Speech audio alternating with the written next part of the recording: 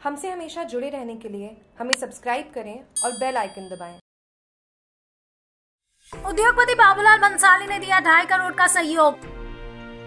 PM cares में भेंट किए एक करोड़ रुपए, राजस्थान सरकार को एक करोड़। मध्य प्रदेश सरकार को भेजा इक्यावन लाख का आरटीजीएस।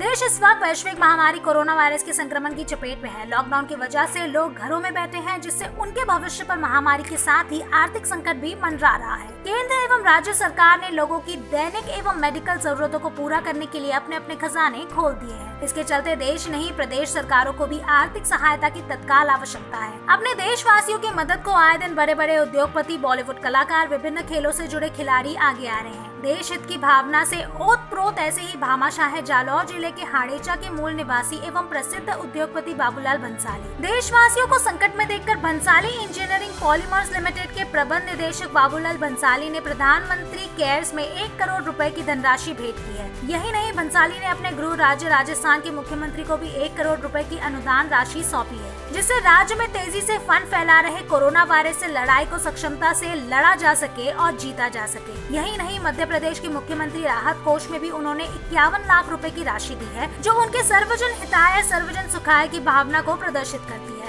राजस्थान में जालौर ज़िले की सांचौर तहसील के हाड़ेचा गाँव के मूल निवासी बाबूलाल बंसाली समाज एवं देश हित में सदैव तत्पर रहते हैं। इससे पहले भी प्रदेश एवं देश में आई आपदाओं के समय भी उन्होंने आगे रहकर सभी की मदद की थी। देश में बाढ़ से हुए नुकसान की बात हो या कि भूकंप एवं सुनामी जैसी आपदाओं का वक्त हो भामा शाह बाबूलाल बंसाली ने बड़े दिल और खुले हाथ से करोड़ों का सहयोग दिया बंसाली का कहना है कि जब हमारे देश के मेडिकल स्टाफ, पुलिस कर्मचारी एवं अन्य विभिन्न विभागों के लोग अपनी जान हथेली पर रखकर लोगों को मदद पहुँचा रहे हैं, तब देश के भामाशाहों एवं उद्योगपतियों को भी इस यज्ञ में आहुति देनी चाहिए। तभी कोरोना से जीतने का संकल्प सफल होगा। राजस्थान से जागरूक टीवी की रिपोर्ट।